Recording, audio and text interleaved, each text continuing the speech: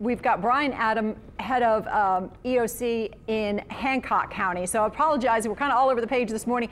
D, are you with us now, Brian? Yes, ma'am. Oh, thank you so much for joining us. Fill us in on Hancock County and what's going on there. Um, we're seeing um, uh, quite a bit of street flooding from the storm surge. Um, we uh, our tide levels at 6.0 above normal and uh, still rising at this time. Um, but we're we're seeing well over you know 200 streets uh, that are that are seeing minor and, and some major street flooding. Uh, no houses have been uh, reported endangered at this time, but um, we do have uh, quite a few streets that are affected. Any any major any major roads that are closed? I know we're looking at the water kind of overtopping the uh, storm wall or the flood wall there in Waveland.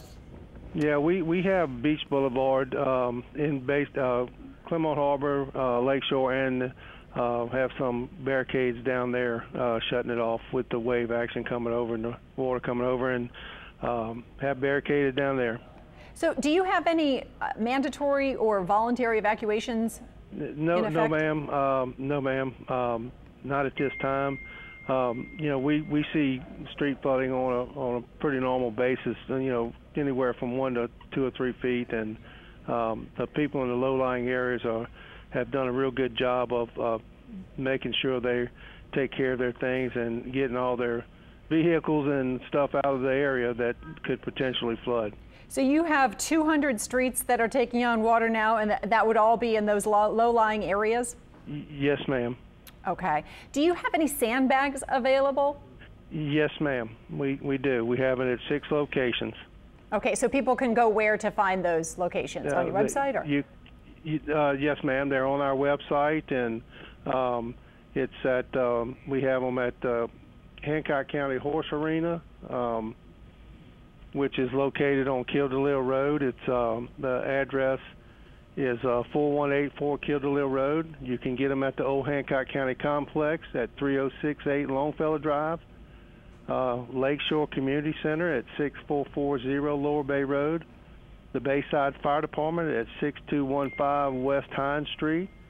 The West Hancock Fire Department at 16006 Washington Street in Pearlington and the Diamondhead City Hall, uh, 5000 Diamondhead Circle. All right, and, and for perspective, how does this storm so far stack up against other storms you've you've gone through?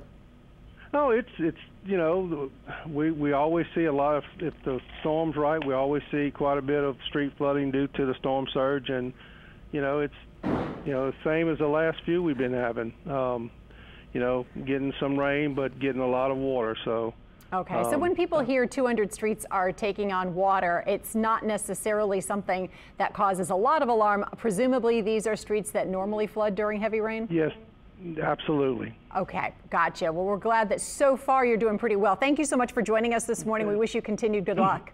All right, thank you.